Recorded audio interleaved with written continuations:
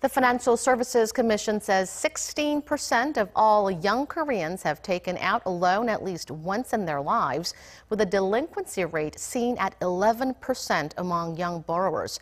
The top financial watchdog added that nearly one out of three of these delinquent loanees have been blacklisted by financial institutions due to their poor credit rating. This latest report is fueling concerns over Korea's mounting household debt burden, pressuring the government to take further action. In response, the commission said it's expanding its low interest loan program for young Koreans and will introduce a more flexible repayment structure.